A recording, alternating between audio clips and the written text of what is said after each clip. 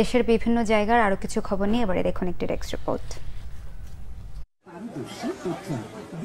বাংলাদেশের বিভিন্ন অঞ্চলের একুশটি জিআই পণ্য নিয়ে নাটোরের প্রথম বিজনেস এক্সপো মেলার উদ্বোধন করা হয়েছে।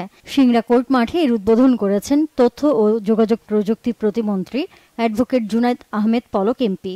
যৌথভাবে এর আয়োজন করে বাণিজ্য মন্ত্রণালয়ের business promotion council O e commerce association of Bangladesh. সরকারের নবায়নযোগ্য জ্বালানি নীতিমালা বাস্তবায়নের লক্ষ্যকে সামনে রেখে ময়মনসিংহে স্থানীয় অংশীগণদের নিয়ে মতবিনিময় সভা হয়েছে। বাংলাদেশ এন্টারপ্রাইজ ইনস্টিটিউটের উদ্যোগে স্থানীয় একটি হোটেলে সভায় প্রধান অতিথির বক্তব্য রাখেন সিটি মেয়র ইকরামুল হক টিটু। অনুষ্ঠানে স্বাগত বক্তব্য রাখেন ইনস্টিটিউটের প্রেসিডেন্ট সাবেক রাষ্ট্রদূত হুমায়ুন কবির। গোপালগঞ্জের কাশিয়ানী উপজেলা বিএনপির দ্বিবার্ষিক সম্মেলন হয়েছে।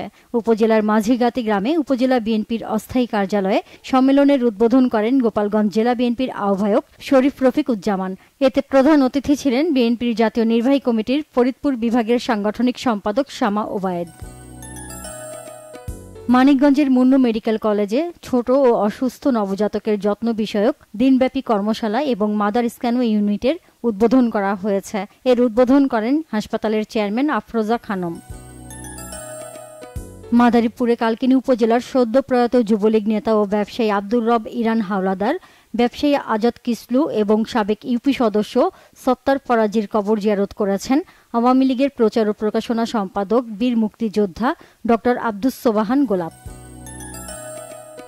সাংবাদিক কাজী সাহেদের নামে সাইবার নিরাপত্তা আইনের মামলার প্রতিবাদে রাজশাহীতে মানববন্ধন করেছে সাংবাদিকদের বিভিন্ন সংগঠন। নগরীর কামারুজ্জামান চত্বরে কর্মসূচি হয়। এ সময় নেতারা সাইবার নিরাপত্তা আইনের নামে কালো আইন বাতিলের দাবি জানান।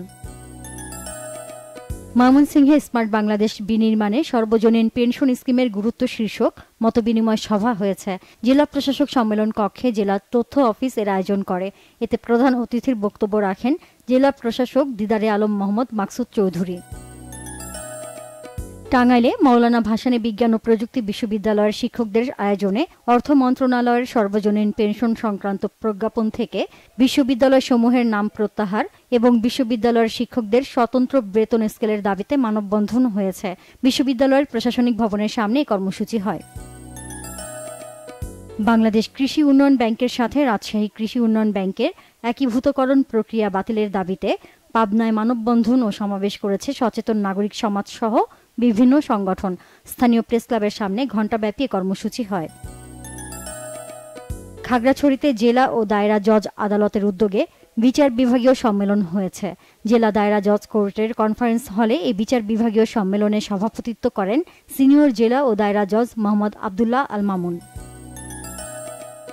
দুই দিনব্যাপী পঁয়তাল্লিশতম জাতীয় বিজ্ঞান ও প্রযুক্তি সপ্তাহ দুই হাজার চব্বিশ বিজ্ঞান মেলা, অলিম্পিয়াড ও কুইজ প্রতিযোগিতার উদ্বোধন করা হয়েছে জয়পুরহাটে। জেলা প্রশাসকের কার্যালয়ের সামনে কালেক্টরের চত্বরে এর উদ্বোধন করেন জেলা প্রশাসক সালেহিন তানভীর গাজী। ঝিনাইদহ সদরে প্রথম ধাপে উপজেলা পরিষদ নির্বাচনে ভাইস চেয়ারম্যান পদপ্রার্থীর তালামার্কা প্রতীকের ত্রুটিপূর্ণ ফলাফল ও গেজেট স্থগিত রেখে পুনরায় ফলাফল প্রকাশের দাবিতে সংবাদ সম্মেলন হয়েছে।